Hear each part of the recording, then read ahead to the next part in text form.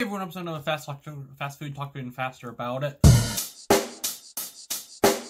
Check the mic and make sure it sound right, boys.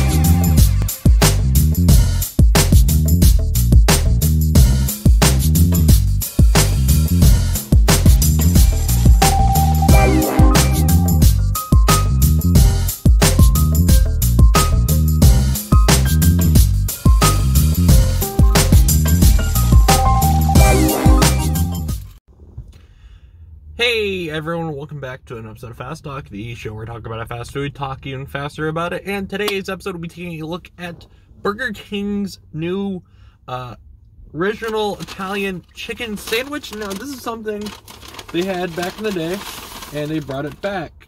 Uh, so yeah, the 19 uh, sorry, it's the 1979 original. Uh, is that when the first chicken sandwich for Burger King came out? I guess I don't know, but yeah. I was expecting something, and this, like, this bag was, like, heavy. So, I'm kind of excited. I also got some french fries, so. Dang it, forgot to get a surge. But, uh, yeah. Before we start the video, consider liking this video, commenting on what you thought of the original chicken sandwich, or, you know, rather random comment, uh, how you hate me, how you like me, whatever. Uh, leave a comment or leave a like if the like button's still here, and uh, subscribe. Tell your friends. So yeah, I saw this and I was like very interesting. And I'm like, oh, it's like a gonna be like a chicken pizzaiola, chicken parmesan thing. That's what it looks like. Looks like we got, you know, sesame long sesame bun, much like the rodeo burger.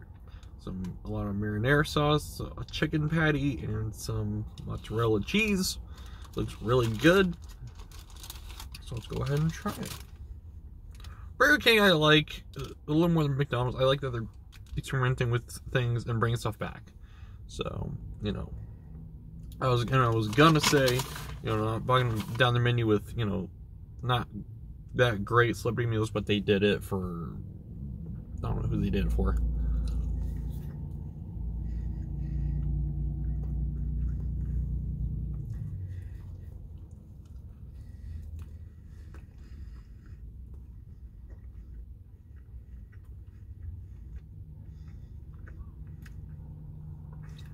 Expecting the uh, chicken to be a little crispier. Question why it's not, you know, from the sauce.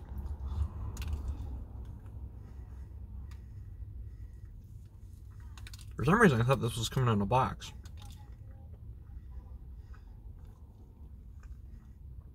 Why the heck did I think that?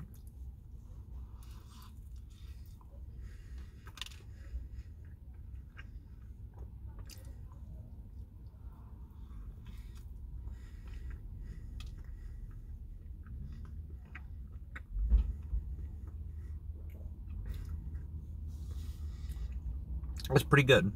Um, I think there's a little too much marinara because you can see it. It's on the top and the bottom. I think stuck with the one layer be a lot better. The chicken, you could actually kind of taste it and it wouldn't be as soggy and soaked.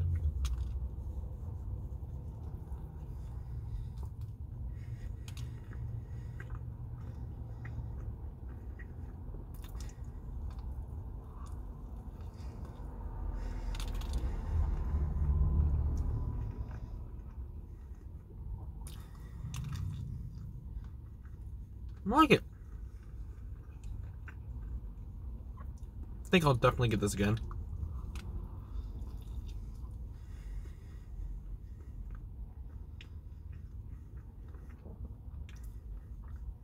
Yeah, I'll definitely get this again. Comes from a little something more like, you know, some banana peppers are really good on this to, you know, balance the savory of the chicken with the marinara sauce. But yeah, I think it's totally totally worth it. Go get it yourself. And uh, I guess uh, have a happy Thanksgiving, guys.